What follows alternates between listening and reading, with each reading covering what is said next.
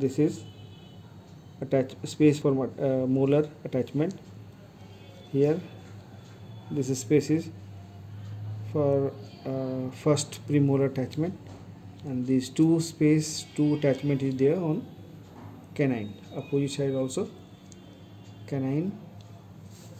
Here first premolar and first molar. So two attachment is there on canine both side single attachment on first premolar both side and single attachment on molar both side